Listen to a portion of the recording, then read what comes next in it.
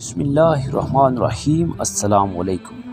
الباری T V کے دوستو، آج میں آپ صلی اللہ علیہ وآلہ وسلم کی حدیث مبارک میں سے ایک حدیث آپ کے سامنے بیان کروں گا کہ جس میں آپ صلی اللہ علیہ وآلہ وسلم نے تین باتوں کی قسم اٹھائی ہے۔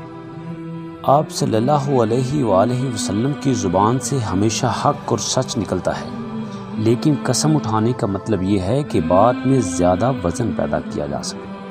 آپ صلی اللہ علیہ وآلہ وسلم نے قسم اٹھا کر فرمایا کہ صدقہ کرنے سے مال کم نہیں ہوتا، بلکہ مال زیادہ ہوتا ہے۔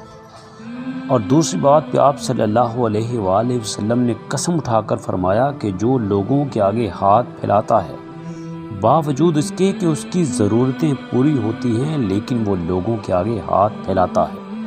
تو اللہ تعالیٰ ایسے شخص پر فقیری اور تنگ دستی کے دروازے کھول دیتا ہے۔ اور تیسری بات پہ آپ صلی اللہ علیہ وآلہ وسلم نے قسم اٹھا کر فرمایا کہ توازے اختیار کرو۔ اللہ تعالیٰ توازے اختیار کرنے والوں کو اور نوازتا ہے۔ الباری ٹی وی کے دوستوں آپ صلی اللہ علیہ وآلہ وسلم کی اس حدیث سے پتہ چلتا ہے کہ صدقہ کرنا چاہیے۔ جب بھی ہمارے پاس مال کی کمی ہو، ہمیں صدقہ کرنا چاہیے۔ کیونکہ آپ صلی اللہ علیہ وآلہ وسلم کے فرمان کے مطابق صدقہ کرنے سے مال کم نہیں ہوتا۔ بلکہ مال زیادہ ہوتا ہے۔ اور جب بھی ہمارے پاس کسی چیز کی ضرورت ہو، جب بھی ہمیں کسی چیز کی ضرورت پڑے تو ہم اللہ تعالیٰ سے مانگیں۔ جب ہم لوگوں سے مانگنا شروع کریں گے تو اللہ تعالیٰ ہم پر تندستی اور فقیری کے دروازے کھول دے گا۔ اللہ تعالیٰ ہمیں اسی سے مانگنے کی توفیق عطا فرمائے۔ آمین، ثم آمین۔